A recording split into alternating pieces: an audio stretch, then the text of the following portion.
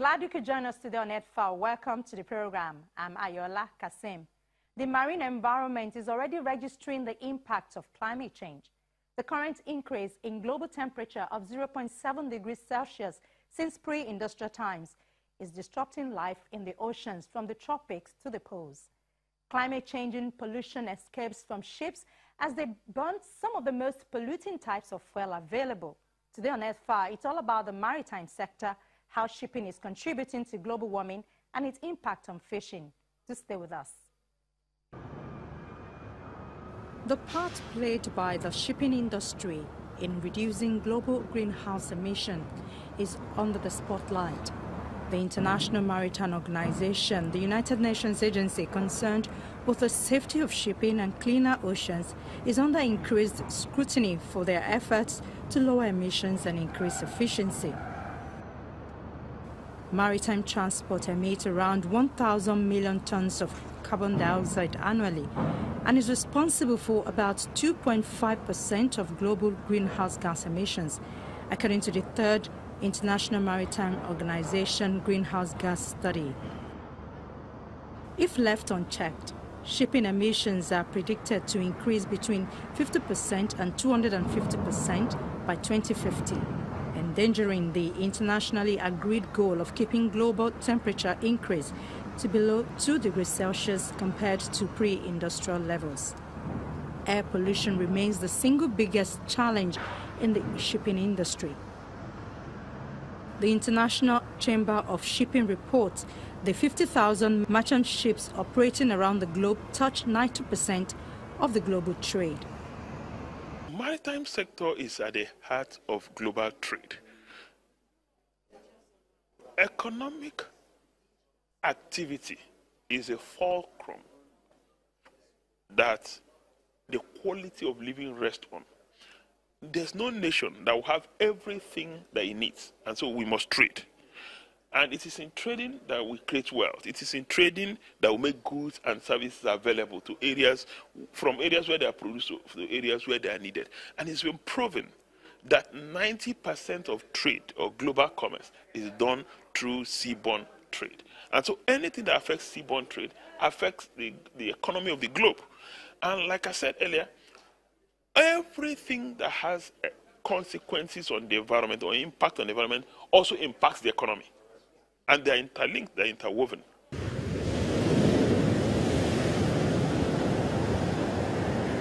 Nations around the world identified as least developed countries often found across Africa and Asia Pacific, as well as small island developing states, are seen as crucial players in the fight against worsening climate change. Often communities from these regions, particularly shore-based settlements, are the first to suffer the consequences of global warming, which threatens their livelihoods. Now, climate change affects all the activities that we know the maritime sector does, like the port harbors, navigation on sea, bringing in uh, cargoes, even passengers, everything that has to do with shipping climate change affects it. When greenhouse gases are emitted and temperature rises, the sea surge, like we witnessed along the Lekki Epe axis, it affects the waters. And when this, what, uh, the sea surges, it affects the ports. Now, business activities might be disrupted if the seaports are not actually raised to the level that can really, really combat the effects of the sea surges. Aside that, the aqua life, the aquatic life under the ocean is affected because greenhouse gases affect all the coral reefs, everything, the fishes, the little, little mollusks and all of them, they are affected.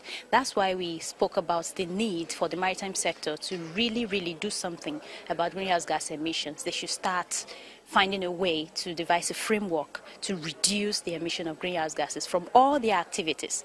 If it means making the ship owners pay, if it means making them to use new technology, if it means making them to check their fuel efficiency.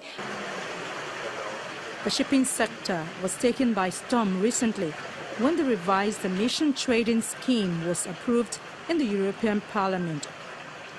The new emission trading scheme proposes that the shipping industry should be included in the scheme from 2023. unless the International Maritime Organization introduces a similar system by 2021. Now the world's biggest carbon market, the emission trading scheme, was first launched in 2005 as a way to restrict the volume of greenhouse gases emitted by energy-intensive industries, power producers and airlines. Companies receive, buy or trade pollution permits, officially known as emission allowances, in accordance with predetermined carbon dioxide limits. One European Union allowance allows for one ton of carbon dioxide to be emitted. Faced with the task of reducing a surplus of more than 3 billion allowances in 2015, the European Commission set out to reform the current emission trading scheme. Part and parcel of this reform is the proposal that starting from 2023, carbon dioxide emissions from shipping should be accounted for through the emission trading scheme. Today, shipping is the only industry not included in the 2015 Paris Agreement due to its global nature and the difficulty in allocating emissions from a ship to a single state.